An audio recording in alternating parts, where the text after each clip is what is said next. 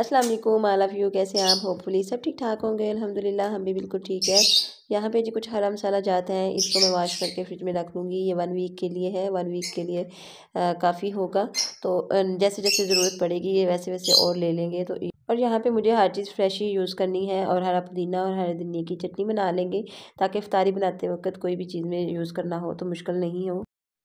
और यहाँ पे जी मैं गाना बना रही थी, जैसे कि न्यू घर बनाते हैं और बहनें जाके बांधती हैं तो यहाँ पे जी मैं रात में बैठ के ये गाने बनाए और मेरे जो बड़े भाईजान हैं वो घर बना रहे थे। और मुझे गाँव जाना था और उनके जो नए घर में ये गाने बांधने थे, बहनें जाती हैं अक्सर। आपने भी देखा होगा तो मैंने फिर यहाँ पे रात रात में बैठ के गाने बना लिए, चूँकि फिर दो दिन बाद रमज़ान स्टार्ट हो जाना था। तो ये दो दिन पहले का ब्लॉग है, रमज़ान से पहले का। तो इसलिए मैं फिर शेयर नहीं कर सकी, बहुत सारे काम थे, घर आई तो बहुत सारे काम थे। और सफाइयाँ वगैरह तो मैं पहले ही कर चुकी थी और हर चीज़ क्लीन वगैरह करके मैं धुला चुकी थी।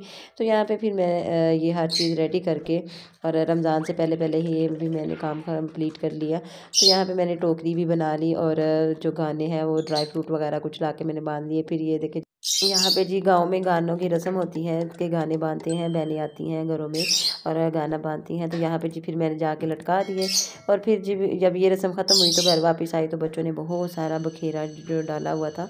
और फिर मुझे दोबारा से सारी साफ़ सफाइयाँ करनी पड़ी। तो फिर जो मैंने क्लीन वगैरह धुलवा के रखे थे, फिर मैंने सारे साफ़ सफ़ाई करके डाले। फिर रमज़ान के लिए जो नमाज़ वगैरह पढ़नी होती है और इबादत करनी होती है। तो यहाँ पर जी तब देखे मैंने सारा रूम साफ़ कर लिया और नीट एंड क्लीन हो चुका है। तो अब हम सुकून से नमाज़ वगैरह और इबादत कर सकते हैं पूरा रमज़ान इजीली। कोई सफ़ाई वगैरह नहीं करनी पड़ेगी।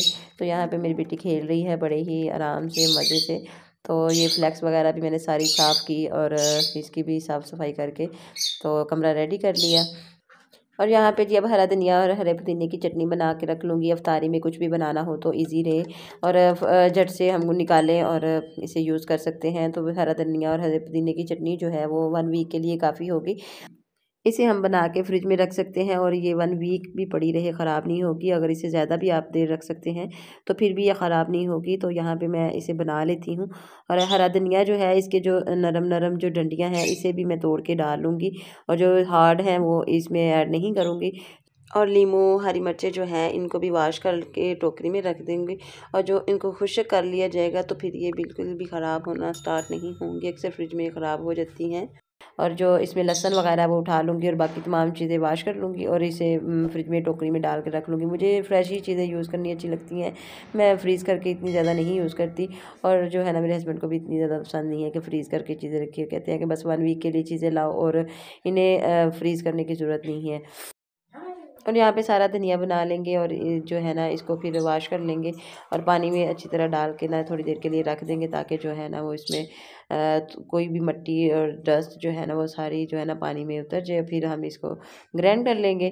और यहाँ पे जो पुदीना है, इसको भी मैं तोड़ लूँगी, जो पुदीने की डंडियाँ हैं, इससे हम यहाँ पे वेस्ट नहीं करेंगे। इसको यूज़ कर लेंगे आगे चल के मैं बताती हूँ कि इसे मैंने यूज़ किस लिए करना है और ये मैं क्यों रखती हूँ। तो यहाँ पे सारी डंडियाँ जो है ना इसे तोड़ लेंगे, पत्ते भी जो हैं इसको अलग करके रख लेंगे। और पुदीना जो है ना, वो एक जार में पहले से ही मैंने खुश करके कुछ रखा हुआ था। ये डंडियाँ भी खुश करके उसी में ऐड कर दूँगी ताकि जब भी हमें कोई कहवा वगैरह बनाना हो पुदीने का तो हमें फिर बाहर से लाना ना पड़े और जो है घर में जो खुशक हुआ पड़ा है, उसी से हम कहवा वगैरह बना के रेडी कर लें। अक्सर बच्चों के पेट दर्द के लिए भी ये कहवा बना लें तो ये बेस्ट रहता है। और दिन में वैसे भी एक दफ़ा लाजमी कहवा बना के पीना चाहिए। और यहाँ पे जी मैं सफ़ाई साफ़ सफ़ाई कर रही हूँ और ये जो शीट मैंने नीचे बिछाई हुई है, ये दराज से ऑनलाइन मंगवाई थी और ये बिल्कुल भी ठीक नहीं रही है। ये देखो थोड़े थोड़े डार्ट्स और ये ख़राब होना स्टार्ट हो गई है तो अब मैं ये उतार दूँ। लिहाजा मेरा एक्सपीरियंस तो बैठ रहा ये शीट के लिहाज से तो आप भी इसे मत यूज़ कीजिएगा।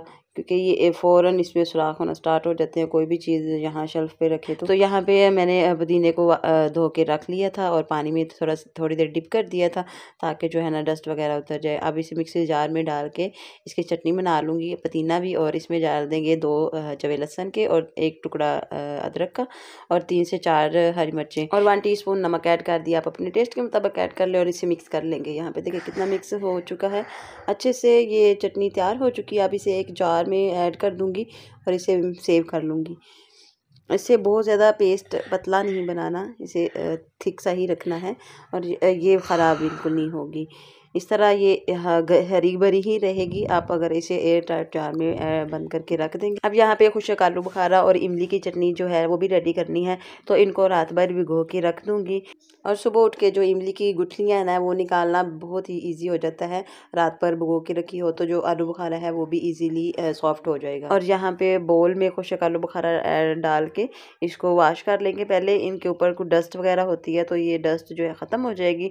फिर ये धुल जाएँगे अच्छे से। तो फिर इनमें गर्म पानी ऐड कर देंगे। और मैंने वाश कर लिया है, कितना ही अच्छा इसमें इतनी डस्ट निकली है ना, यकीन करें इनको पहले वाश कर लिया करें, फिर इसमें गर्म पानी जो है ना, वो ऐड करके रात भर भिगो के रख दें।